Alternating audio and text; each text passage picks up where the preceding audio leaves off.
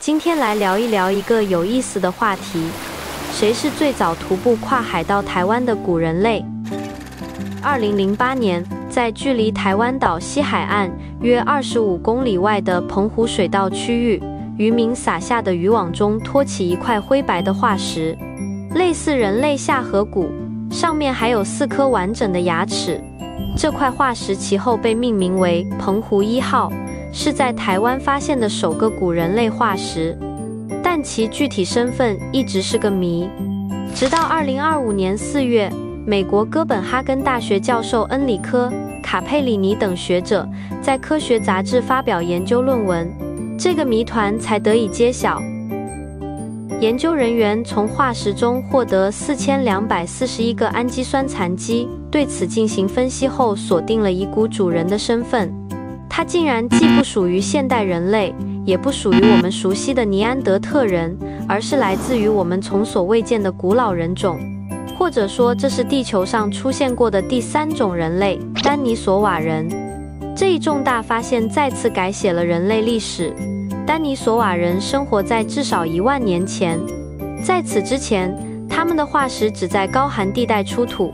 首批遗骸是2008年发现于西伯利亚的丹尼索瓦洞穴。2019年，科学家又在青藏高原东北边缘的白石崖岩溶洞穴中发现了更多丹尼索瓦人化石。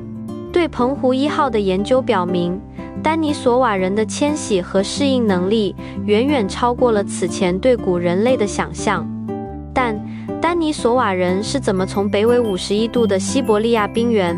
跋涉到海拔三千一百米的青藏高原，再跨海来到北纬二十三度的澎湖的呢？答案就藏在冰河时代。三万年前，全球变冷导致海平面下降一百三十米，今天的台湾海峡在那时浮出了海面，成为草木丰茂的陆地。科学家称之为东山路桥。台中剑齿象化石。桃园古犀牛骸骨等，就是剑齿象、古犀牛从福建漫步至台湾的地质证据。追逐猛犸象群的丹尼索瓦人，同样是通过这条路完成了史诗级的迁徙。此后气候回暖，海水淹没路桥，台湾成为岛屿。但在丹尼索瓦人之后，大陆向台湾的迁徙从未停止。六千五百年前，福建平潭人驾独木舟登陆台湾，成为南岛语族祖先。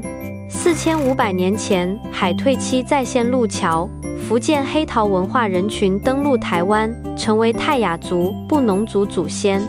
进入文明时代后，从三国东吴万人船队抵达宜州，到隋炀帝三派使者为府居民，再到明清大规模移民。今日台湾岛上的两千三百多万人口，是人类万年迁徙的历史结晶。